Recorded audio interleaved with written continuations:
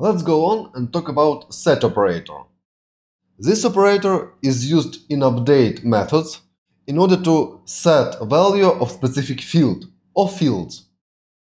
If those fields already exist in the document, then values will be replaced with those we supply in the set value. Let's look at the example. Here is the example of the update method. Remember that update method needs at least two arguments. First query, second update object, and third options. In this case, we have two arguments.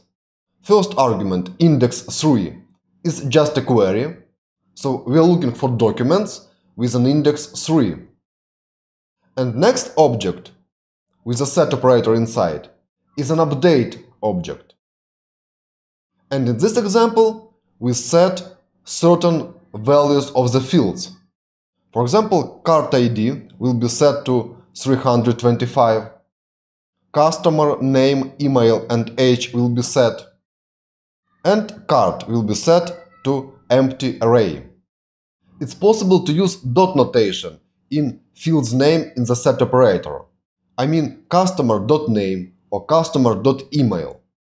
In our example, we set whole contents of the customer field. That's why we don't use dot notation and use just document instead. Okay, let's go on and look at the examples in the MongoDB shell. Remember that we have shopping cart collection and we have inserted five documents inside of it. If you have not performed this action, please insert in the shopping cart collection five documents with indexes 1, 2, 3, 4 and 5. Okay, let's perform our first update operation. So let's replace find with update. Remember that update methods require at least two arguments. First query, second update object, and third argument options, it's optional. So let's add all three arguments here. So first argument, second, and third. And let's split them into different rows in such way. Let's add comments here for each argument. So first argument is query. Second argument is update. And last argument, update options. Optional. So, let's create our first update request. Let's update document with an index 2, for example, this one. I will add index 2 as a query, and in update I will add dollar sign set operator, and this operator needs an object. Okay, let's set several fields. For example, cart ID, number int 325, just some random number. Then customer, Customer will be an object. Name. Mike. Foster, for example, email. Mfoster at test.com and age.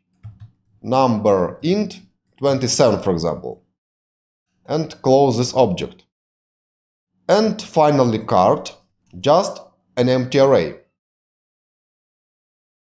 and let's delete this line Okay, again, we are looking for document with an index 2 and set certain fields. Cart ID, customer with a document as a value and this document has three fields, name, email and age.